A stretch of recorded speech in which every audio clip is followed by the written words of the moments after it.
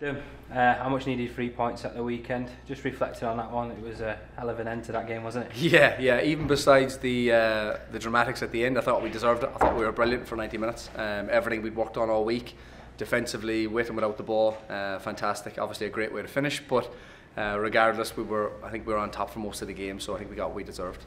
Yeah, I was just about to touch on that. Albeit them scoring late on, it was a, pretty much a, a perfect performance, wasn't it? Yeah, listen, Callum, it's fantastic effort by Callum. He has that ability as well from the, the free kicks, so um, we know that. That's the reason he's on it. And then from that point onwards, defensively, without the ball, and we also had chances as well. I think we had 20 shots at target, and had some fantastic blocks as well. So um, yeah, I think it was well deserved, and, and it's the kind of thing. Hopefully, that'll spark us now, and we can go on a little bit of a run. You're obviously very lucky to work with Cole Stockton every day in training. That kind of goal is probably you see that on a regular basis, don't you? Just that kind of ability talk us through it. It's just mental, isn't it? Yeah, fantastic. Like we were joking, saying if you drop 20, 30 balls the halfway line, try to do it again with no pressure, no wind, no crowd, not having played 94 minutes. I, I don't know if you can do it that often, but uh, fantastic. He's having one of those years, one of those seasons. Everything he's hitting goes in. So we'll uh, we'll ride along the wave along with him and hope that he continues. But fantastic, he deserves it. He works hard every day. He's a good lad. He, he's a, a real big character in the group as well. So um, yeah, please God, he can keep doing it for us. We've got some difficult games, haven't we, coming up, starting with Charlton Athletic on Tuesday night. Just talk us through that one.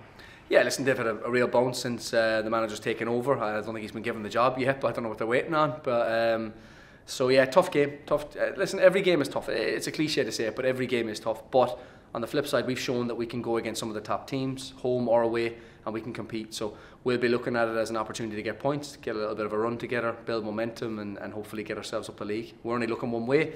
We said that from the beginning, even when we're on a bad run of form, we're looking up, we're not looking behind us. So um, if we can kind of kick on Tuesday and then build into Saturday again. They really positive result the weekend, didn't they? Winners against Plymouth Argyle, beating them the first time they've beaten since the opening day just shows that the kind of strength that they've got in that side. Yeah, listen, I think they were in a false, position. Everyone knew that, and, and listen, they've made the change with the manager. Um, the quality they have in the squad, the budget they have behind them, size of club, the support. I think there was 20 odd thousand at their game the other day. Um, fantastic. We watched the game. We've obviously reviewed it. We've watched their recent games, and and they're, they're a good side. Like everybody, look at the teams and think, you know what, they should be in the top half. They're, they're a good side. So we'll go at it, we'll compete, but on our day we're a very good side as well. So hopefully we can we can build on the weekend success and, and use the momentum. The boys are obviously bouncing into work this morning, so hopefully we can uh, we can use that and go again. You just touched on it there. They, they did change the manager halfway through. Obviously, Nigel Adkins going out and then club legend Johnnie Jackson coming in. Do you think it sometimes that old phrase, "the new manager bounce," is, is well and truly prevalent in their squad at the minute. Yeah, and it doesn't need to be anything tactical or technical, doesn't anything. It can just be a new voice. It can just be a. He's obviously a different age to the previous manager and stuff as well. So maybe a little bit of enthusiasm, fresh ideas. Maybe know some of the players quite well from being there for years as well. So. Um, listen, he's got a, ma- a major bump. Uh, from his point of view, he'll be looking to sustain that going forward.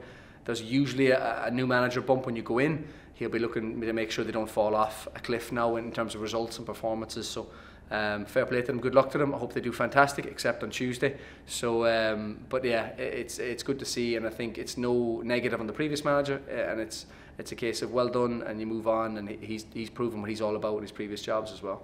You look at some of the names within that squad. You've got like former Wales international Chris Gunter, Jayden Stockley, Conor Washington, Elliot Lee. It's kind of a, an embarrassment of riches, really, isn't it? Yeah, and that's this league. It, it's mad. You listen. You look at ourselves, and, and we don't consider ourselves little or Morecambe anymore. But you're in the league against massive, massive clubs with, with players that have played in, in the Euros. You mentioned Gunter and stuff. A huge amount of caps internationally. Very proven. Played in the Premier League. So but that's the challenge for our boys. That's the excitement for our boys. That's the excitement for anyone who comes to our club as a coach, as a staff member, or as a player. Um, you get the opportunity to go and test yourselves against boys that have done it and, and show that you're that level and, and even you can kick on again. The gaffer spoken in recent weeks about some players who've been on the injury list starting to slowly work their way back into training. How's that looking? Yeah, it's been great. We've had, I think we had 22 players today training, uh, outfield players. I don't really count the goalkeepers, but um, but yeah, the the ones that matter, the, the outfield players. There's uh, a good competition now again, uh, and as I said, a good bounce between the lads. Obviously, there's fellas knocking on the door who want to get back in. And the guys that have the shirt who have to try and keep it. Um, you see, you see the depth we have, the quality we have, the likes of Phillips, too many different people on the bench the other day. Um, if we can keep that going, it means the boys are starting are doing fantastic. So please God, we'll get the likes of John Obika back in. We've a reserve game next week as well to get a few people more minutes. So it's uh, it's looking good, and, and hopefully we can keep them fit for another few weeks.